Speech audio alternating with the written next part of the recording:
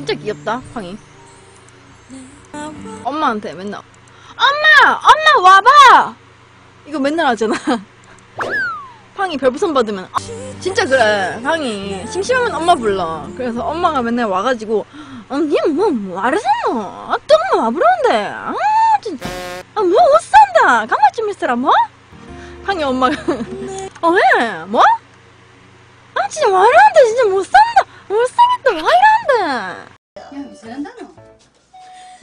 넷째도 낳아주세요. 약 안 먹었어? 엄마, 약 넷째도 시간 지났는 낳아주세요. 같다니. 엄마, 넷째도 낳아주세요. 아, 얘 진짜 못 살겠다. 이 딸내미 맞나?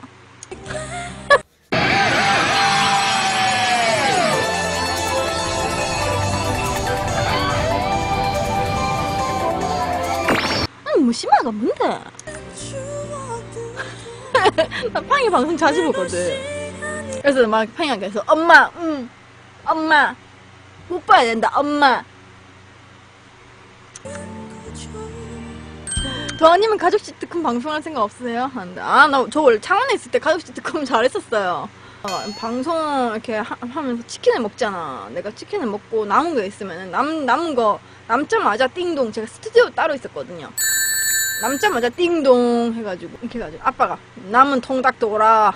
이러거든 아 그거 저 조만간 조만간 창원 한번 내려가려고 하는데 창원에서도 방송할 수도 있거든요 그래서 제가 아빠 컴퓨터에 방송을 해서 제가 도머니랑 같이 방송할게요. 도머니. 근데 우리 엄마는 팡이 어머니처럼 이렇게 막 어쩌 난 지금 못생겨서 안 된다. 난 지금 아직도 안 했는데 어찌 방송하는데 됐다. 이렇게 안 해요.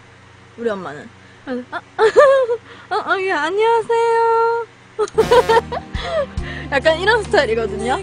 우리 엄마 는 우리 엄마는 막 그렇게 황희 엄마처럼 약간 좀 약간 뭐라고 해야 되지? 좀 그래도 말도 뭔가 이렇게 하고 재밌게 뭔가 방송을 약간 재밌게 이렇게 하는 게 아니고 우리 엄마는 약간 되게 되게 창피해요. 되게 창피해요. 아, 아, 안녕하세요. 아, 아, 예, 안녕하세요.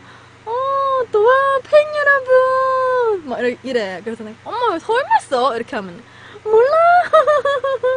막 이런 스타일.